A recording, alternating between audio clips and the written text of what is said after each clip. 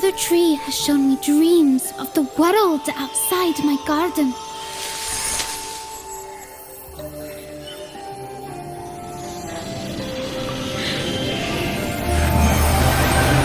They've taught me that all of us have a little sparkle.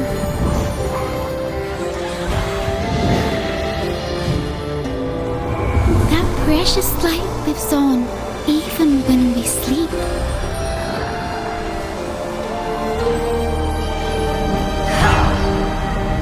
Shines when we're facing the darkest nightmare.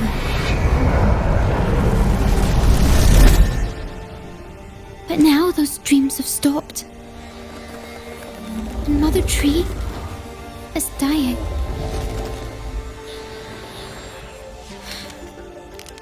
I, I can do this. I can brave the world beyond my garden. Can't I?